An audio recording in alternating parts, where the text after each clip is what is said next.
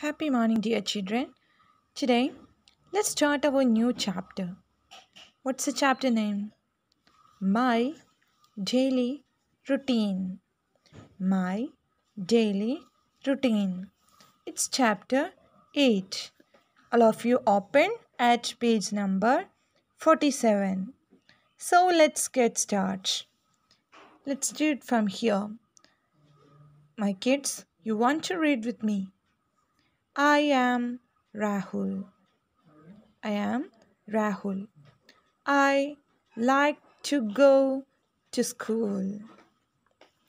Every day, my mother wakes me up to get ready for school. Turn the page.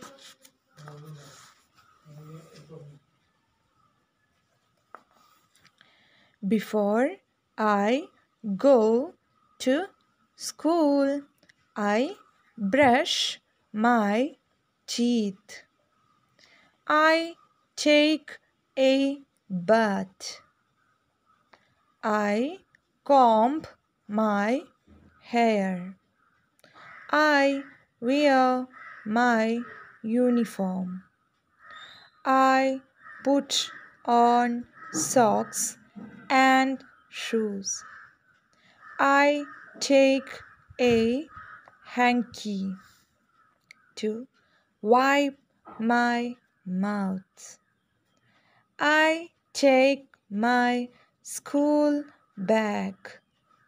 I put my books, pencil, and rubber in my bag. I also put color pencils to draw at school.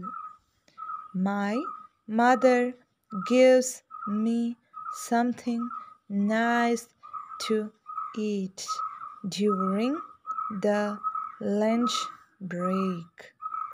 I put my tiffin in the bag too. At school, I share it with my friends. My mother walks with me to the bus stop. Sometimes my father takes me to the bus stop. I wait for the bus to stop. Then I get into the bus. I take my seat in the bus. The bus begins to move. I am on my way to school. So, dear children, try to read the chapter